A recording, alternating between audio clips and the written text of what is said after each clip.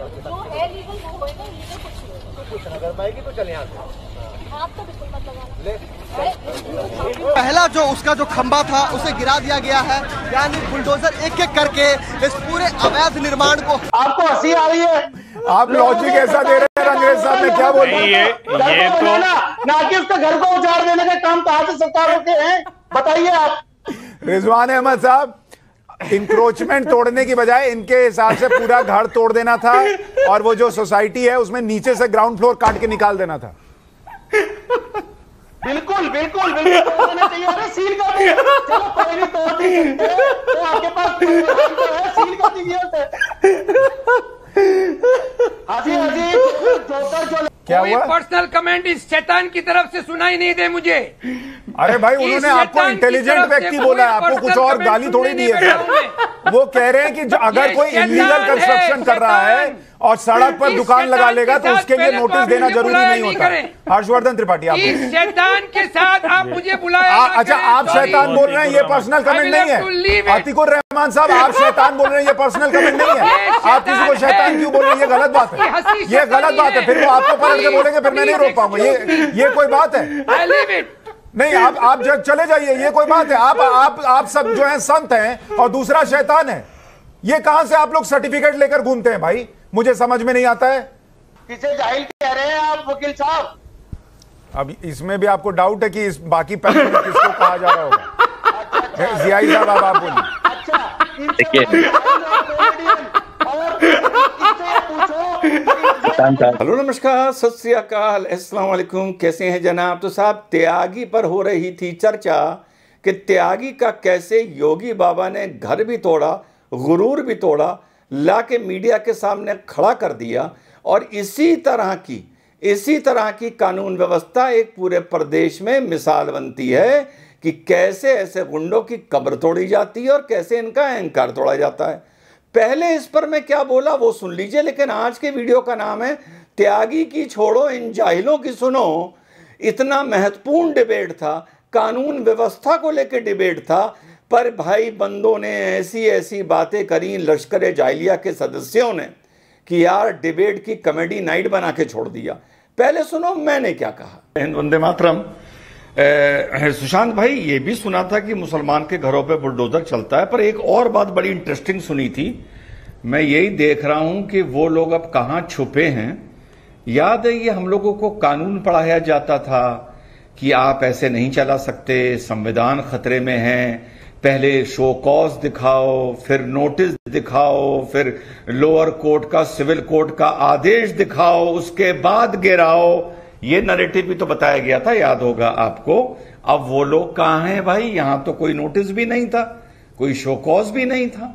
यहाँ सिर्फ़ गुंडागर्दी थी, त्यागी ये भूल गया था कि ये योगी का प्रदेश है। और अगर आप कल्पना करिए, यहाँ तो गाली गलौज करी और एक धक्का दे दिया। धक्का जो देखने में आया है। आप कल्पना करिए कि इसके भेजे हुए गुंडे त्यागी के जो एक दिन बाद आए, वो कहीं पत्थर चला देते, कहीं वो पेट्रोल बम चला देते तो क्या होता? तो तो शायद शुक्र है कि इसका नीचे का घर था, अगर ऊपर का होता तो पूरा माला ही गिरा दिया जाता। तो इन लोगों को अपनी अपनी ये जो आरोप लगाते हैं, ये सोच समझ कर किसी सरकार, किसी भी सरकार पर लगाने चाहिए। लाभदारी वर्ग और कानून व्यवस्था उत्तर प्रदेश में योगी जी के दो, वो हैं करण अर्जुन, दाया हाथ, बाया हाथ। क्या लाभदारी वर्ग और कानून व्यवस्था? और इन दोनों चीज़ों को योगी जी कभी भी छिन भिन नहीं होने देंगे, चाहे सामने वाला कोई दूबे हो कानपुर का, या त्यागी हो, या रहमान हो, या रिजवान हो। गुंडागर्दी करोगे तो बुलडोजर चलेगा। सुना साथियों, बड़ी सीधी बात, योगी जी का धन्यवाद।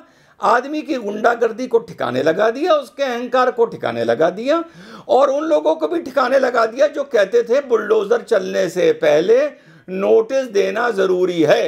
अब इसमें तो जाहिल और विपक्ष फंस गया। अब जाहिल क्या बोले?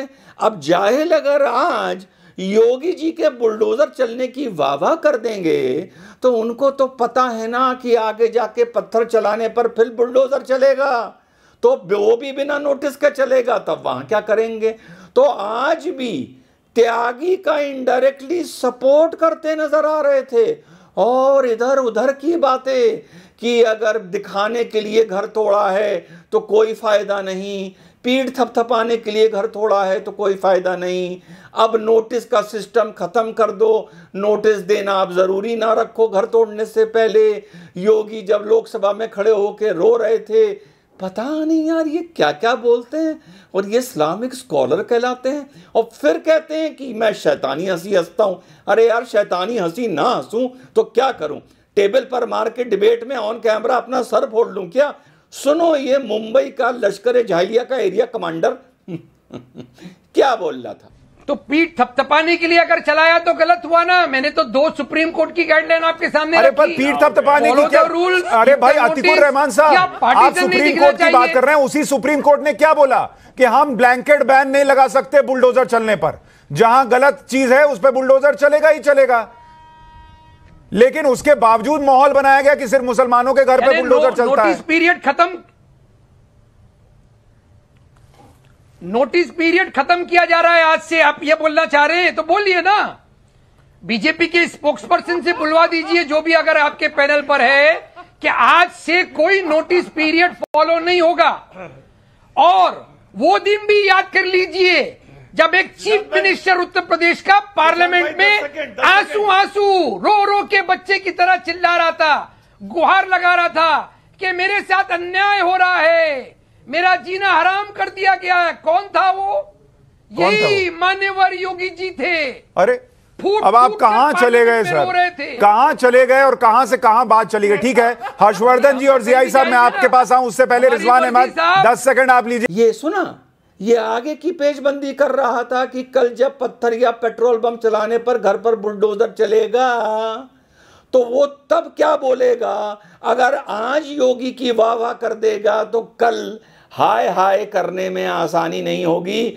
तो ये बंदा इनडायरेक्टली त्यागी को सपोर्ट कर रहा था और इसको जाहिल को समझाने के लिए कि, प्रभु, जाहिल तुम। हर जगह नोटिस अनिवार्य नहीं होता। हर तरह के अतिक्रमण में नोटिस अनिवार्य नहीं होता। मैंने अपनी बात रखी और इसको पढ़ा लिखा बोल के रखी। वैसे रखी तो तथाकथित बोल की थी बस रूठ गया बाबा। बेबी रूठ गई। देखो क्या हुआ। सुशांत भाई थैंक यू वेरी मच कि आपने शो में बुलाया। और ऐसा, और ऐसी दलील मुझे सुनने को मिली।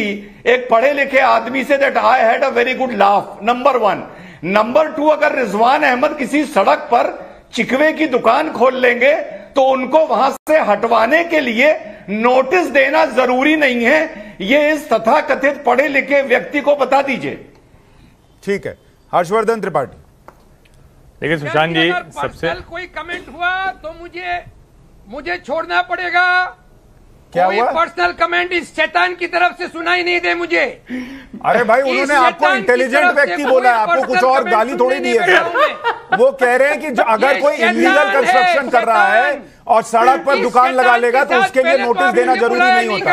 हर्षवर्धन त्रिपाठी आप शैतान के साथ आप मुझे बुलाया अच्छा आप शैतान बोल रहे हैं ये पर्सनल कमेंट नहीं है। अतिकुर रहमान साहब आप शैतान बोल रहे हैं ये पर्सनल कमेंट नहीं है। आप किसी को शैतान क्यों बोल रहे हैं ये गलत बात है। ये गलत बात है। फिर वो आपको पलट के बोलेंगे फिर मैं नहीं रोक पाऊँगा। ये ये कोई बात है.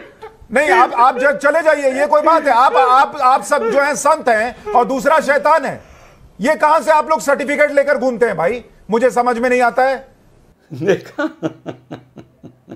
इनको बहाना चाहिए मेरे साथ डिबेट छोड़ने का। आप लोगों को नहीं लग रहा कि आजकल कम डिबेट्स में आ रहा हूँ? अरे, इन सबने मेरा बॉयकॉट कर रखा है कि रिजवान अगर डिबेट में आएगा तो हम नहीं आएँगे। इतनी बुरी तरह हमारे कुर्ते का या हमारे पजामे का धागा खींचता है। फिर दूसरा जाहिल पकड़ के बुलाया गया। अब सुनो, दूसरा जाहिल क्या कह रहा है यार? सुनो, खुद सुनो क्या कह रहा है। इसको पता ही नहीं कि त्यागी का घर कहाँ है, उसकी लोकेशन क्या है, उस बिल्डिंग का स्ट्रक्चर क्या है मैप क्या है, इसको यार जाहिल को कुछ नहीं पता। और ये डिबेट में आ जाते हैं। सुनो क्या बोल रहा था? कि ये जो कार्रवाई हुई है ना उसके त्यागी के खिलाफ ये कार्रवाई कार्रवाई नहीं हुई तरीके से उसका पूरा मकान ढाना चाहिए था उसको तो एक छज्जे ढाया कैसे ढाएगा? कैसे बात कर रहे आप सोसाइटी- आदमी मकान कैसे ढह जाएगा? सोसाइटी का ग्राउंड फ्लोर है भाई। ग्राउंड फ्लोर का मकान ढा देंगे। मतलब कुछ लॉजिक नाम की भी चीज़ है। किया था योगी के बुलडोजर ने ऐसे ही त्यागी के मकान को ध्वस्त किया अरे भाई तुम मकान गलत जगह पे थोड़ी बना हुआ है। मकान- बाहर इंक्रोचमेंट था वो तोड़ दिया। मकान कैसे तोड़ देंगे? नीचे से नीचे से खाली कर देंगे। और ऊपर से ऊपर से बिल्डिंग गिर जाए। क्या? सर। फिर वाराणसी में जावेद का मकान क्यों तोड़ा गया था बताइए? अरे भाई आठ छह आठ फ्लोर की बिल्डिंग है। आप कह रहे नीचे से नीचे से माला काट सुनिए, दो। सुनिए सुनिए। फिर खरगोन में लोगों के मकान दुकान क्यों तोड़ी गई? उन्हें तो ज़मीन बकरा थोड़ी कट रहा है। पिछला आराम काट दिया और बाकी छोड़ दिया।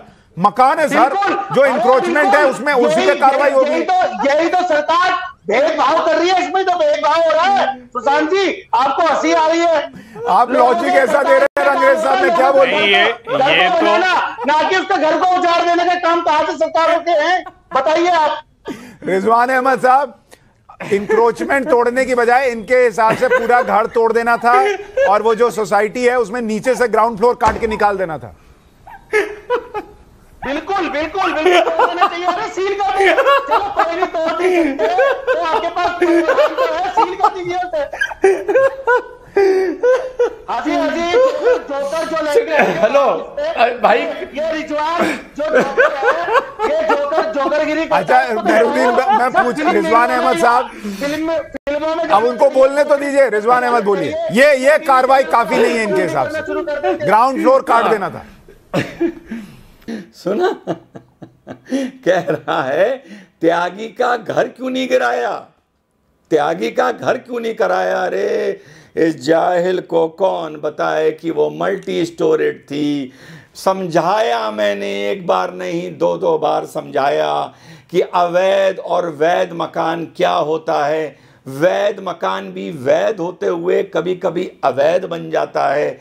अवैध भी तीन तरीके का होता है। पहला वो तरीका होता है कि ज़मीन आपकी है, आपने जो नक्शा पास कराया, उसके हिसाब से आपने घर का इंटरनल स्ट्रक्चर, यानी अंदर के कमरे, वरांडा, वॉशरूम, किचन नहीं बनवाया। ये भी अवैध माना जाता है, लेकिन कम श्रेणी का माना जाता है। एक अवैध होता है कि आपने नक्शा पास कराया, उसी हिसाब से अपना भवन का निर्माण कराया, लेकिन कुछ आगे छज्जे निकाल लिए, गेट निकाल लिया, दीवार निकाल ली, वो भी अवैध होता है। और एक तीसरे किस्म का अवैध होता है कि वो ज़मीन भी आपकी नहीं है, आपने जबरन कब्जा करके वहाँ पर एक मकान बना लिया। तो इन लोगों को जब ज्ञान दो और जाहिल बोलो तो पूछते हैं कि किसको जाहिल बोल रहे हो और फिर देखिए क्या कॉमेडी नाइट विद कपिल बनता है। सुशांत भाई, फिर से आपके दर्शकों को समझा दूँ। ये जो मेरा घर है, ये मेरा ये वैध घर है, वैध। ये दर्शकों को समझा रहा हूँ। लेकिन अगर ये एलडीए के नक्शे के हिसाब से नहीं बना है तो ये वैध होते हुए भी अवैध हो जाता है। और यहाँ पर बुलडोजर आके मेरा ये पूरा घर तोड़ सकता है, अगर जो मेरे पिताजी ने एलडीए से नक्शा पास कराया था, ये मकान उसके हिसाब से नहीं बना है। जो रजिस्टर्ड सोसाइटी होती है, उसमें ये प्रॉब्लम नहीं आती है, क्योंकि उनके रूल्स इतने स्ट्रिंजेंट होते हैं कि वो अपने अपने कॉम्प्लेक्स में कोई भी अवैध कंस्ट्रक्शन करके नहीं बेच सकते। रंगरेज जैसों को पहले एजुकेट करिए कि मामला होता क्या और वो समझते क्या है। और जियाई भाई जियाई भाई, कोई हंसने नहीं आता। जब कौम की नुमाइंदगी करने वाले जाहिल आके टीवी पर बैठते हैं और ऐसी बातें करते हैं जो आठवीं फेल बच्चा भी ना करे तो सिर्फ़ एक सूरत रहती है या हम सर पीट लें या हम हंस लें। हम सर नहीं पीटते हम हंस लेते हैं। किसी को समझाने से पहले डिबेट में ऐसे जाहिलों को समझाया करिए कि आके कौम की नाक ना कटाओ। जियाई साहब। किसे जाहिल कह रहे हैं आप वकील साहब? अब इसमें भी आपको डाउट है कि इस बाकी पैनल में किसको कहा जा रहा होगा। जियाई साहब आप बोलिए। अच्छा देखिए। हैं जियाई साहब बोलिए जियाई साहब बोलिए। सुना यार भूल जाओ त्यागी को। त्यागी जैसों का तो इलाज बहुत आसान है। लाठी से डंडे से कर सकते हो। जो पत्थरबाज हैं उनका इलाज भी बहुत आसान है, लाठी, डंडे, बुलडोजर से कर सकते हो, पर इन लोगों का इलाज कैसे करोगे? जो वाइट कॉलर भी कहलाते हैं, ये इस्लामिक स्कॉलर भी कहलाते हैं, ये बुद्धिजीवी भी कहलाते हैं, और डिबेट्स में आकर ऐसी चाहलत की नुमाइश पेश करते हैं। जय हिंद, वंदे मातरम, खुदा हाफिज़।